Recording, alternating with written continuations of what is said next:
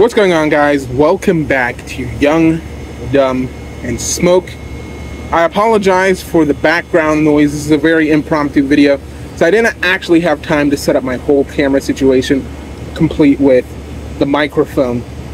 But what I can do for you guys is talk about my experience with this pipe. This is a Missouri Meerschaum Mark Twain corncob pipe and the blend that I am smoking in it. This is the second time I've smoked. I didn't want to do my first ever uh, smoking uh, for the first time in a video just because I didn't want to embarrass myself in front of the uh, YTPC. But here we are with the second bowl. I started smoking this. I was went on a walk with my wife uh, and uh, it went out because it's 7-Eleven today and we went over to the uh, local 7-Eleven, which is just right down the road from us, uh, within walking distance, and I picked up a Slurpee.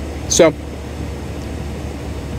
that's what I'm smoking today, and I kind of wanted to give you guys my honest opinion.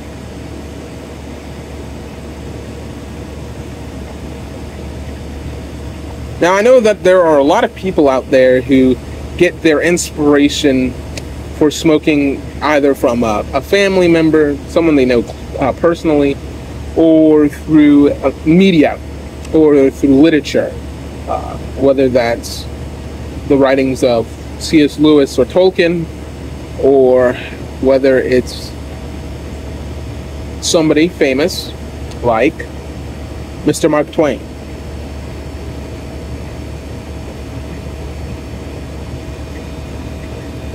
Now, in 2023, it's a lot more popular currently, uh, as far as I know, to be a cigar smoker than a pipe smoker.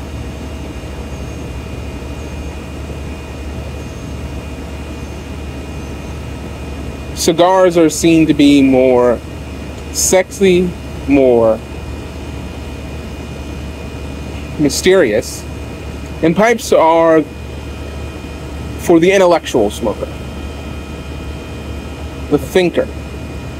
I, I believe it was Peterson Pipes had a the old slogan, "The thinking man's pipe."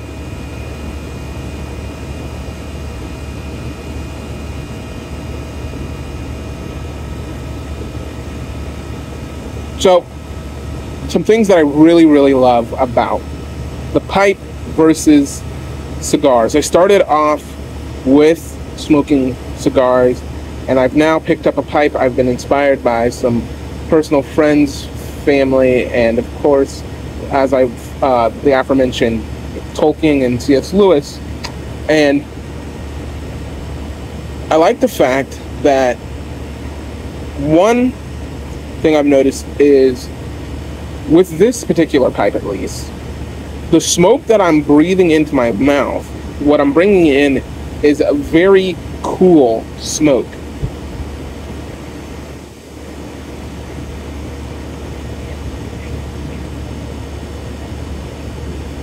I've seen videos where you're told not to puff on your pipe. You're supposed to almost sip it, like you're sipping a coffee through a coffee stirrer. So, with that, armed with that information, I have embarked on my own pipe smoking journey in a very similar fashion. But I think that I may be hooked on this more than I was ever hooked on a cigar.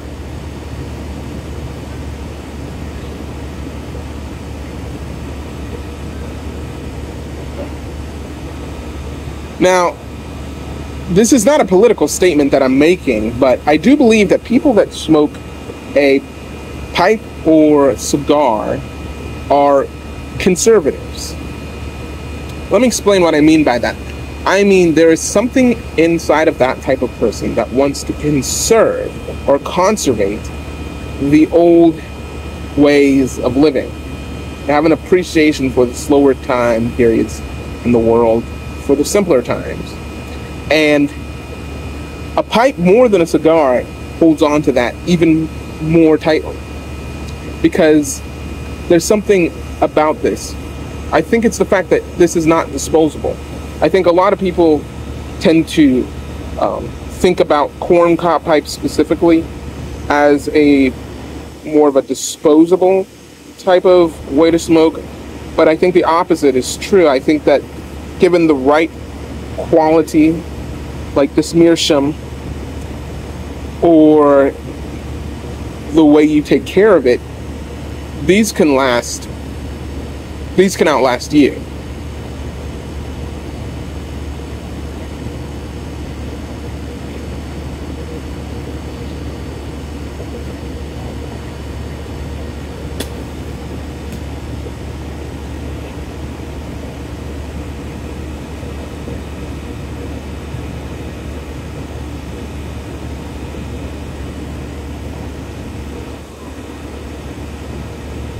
Now, I live here in Virginia, a state that was known in the past for its tobacco. And there's something to be said for living in Virginia and smoking a corncob pipe and reflecting on the men who died for this country in two separate wars. And I'm going to say something that's very controversial for somebody of my uh, skin tone, but I have respect for men who fought on both sides of the Civil War and both sides of the Revolutionary War. Because in each one of those cases, the land that I am standing on, this Virginian soil that I find myself pondering with this pipe.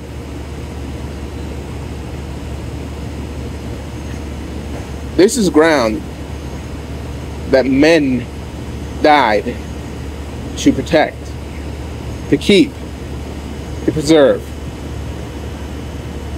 It does not matter what the reasoning behind their protection or their conservation of what they held dear to them. But I think that in a world that is seeming to turn upside down, conserving or having an understanding of what you're conserving is important. To eliminate the political leanings on both sides and to remember why there were men willing to die to protect this certain certain dirt. I want to leave you with this. Pardon me while I relight this.